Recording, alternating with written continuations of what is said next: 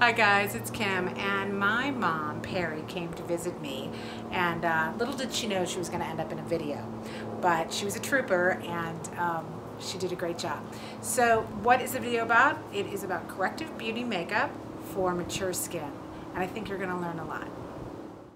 If you have clients that are 60 plus, um, like my mom here, Perry, who's 76, um, or if you are uh, over the age of 60, this video will really help you out. I've got some good tips for you um, on youthening and also the best choices to make for mature skin.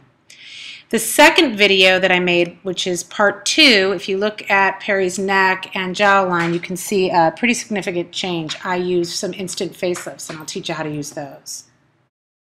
It's always important to prep your skin before applying makeup for um, for everybody, but for skin over over 60, it's even more important. Use a good under eye cream. Um, make sure and use sunscreen every day. Good, a good moisturizer um, makes a really big difference and will make the skin um, appear more youthful. When choosing foundation, um, use one like this Clinique that's a very sheer coverage. You don't want anything cakey or heavy. Um, no full coverage foundations, no drying ones. Oil free may not be the best choice at this age. Um, just keep it very sheer. You can go a little heavier to cover any uh, broken capillaries around the nose or the mouth, but everything else, keep it light. So the next step is going to be um, concealer. I'm using this amazing cosmetic concealer um, what I like with my um, Real Techniques concealer brush, what I like about this concealer is that it will color correct. Um, it comes in a number of shades. You can use the very small amount.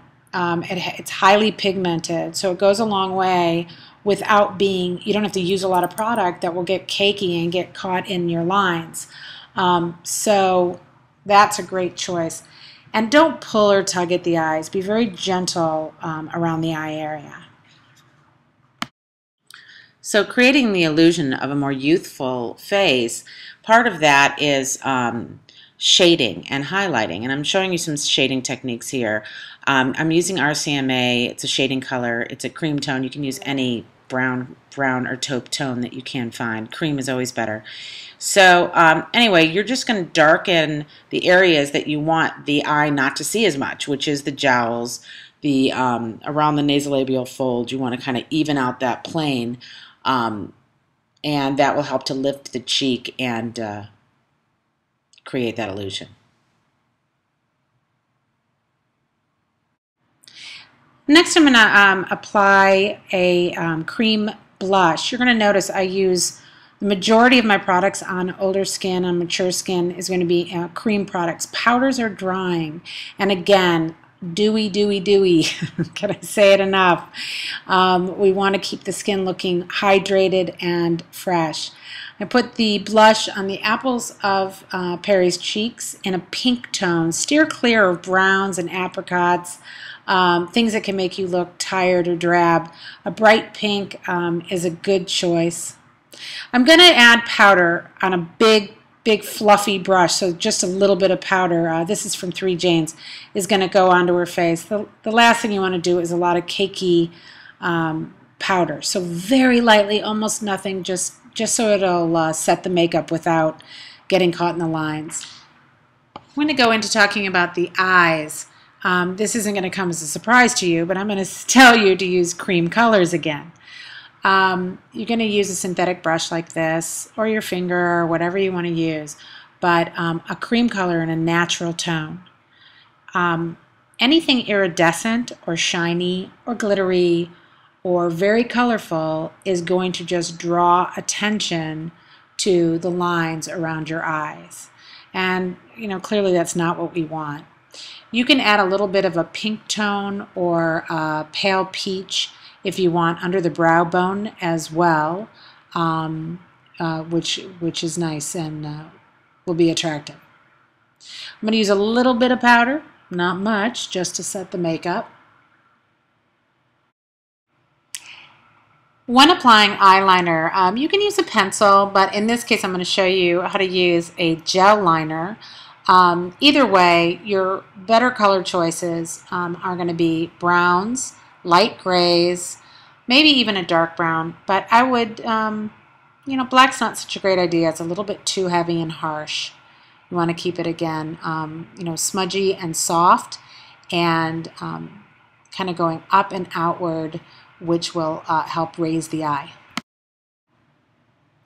Can add a little bit um, on the underneath of the eye uh, as well, um, just for a little definition.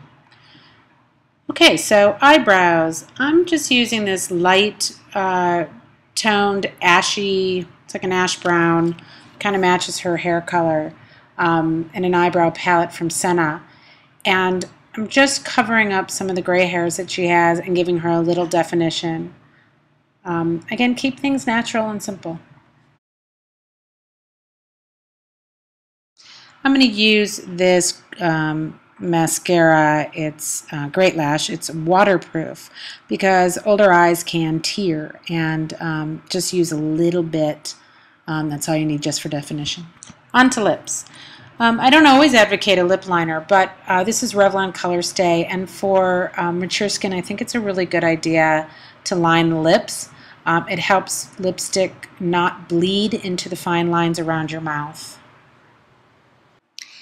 Use a lipstick like this Clinique um, lipstick that is moisturizing and not drying or matte. Um, great tones to use are um, pinks, reds, uh, nudes and browns and apricots can just you know wash you out and make you look uh, sallow. Uh, if you're going to have color in your face, put it in your lips. Oh, and there's mom looking all refreshed and happy. Um, be sure and check out my other video um, with my mom in it um, on instant facelifts. And uh, I appreciate you and thank you for watching. For more makeup tips and tricks, go to kimgreenmakeup.blogspot.com. To check out my cosmetic bag line, go to thekimgreenline.com.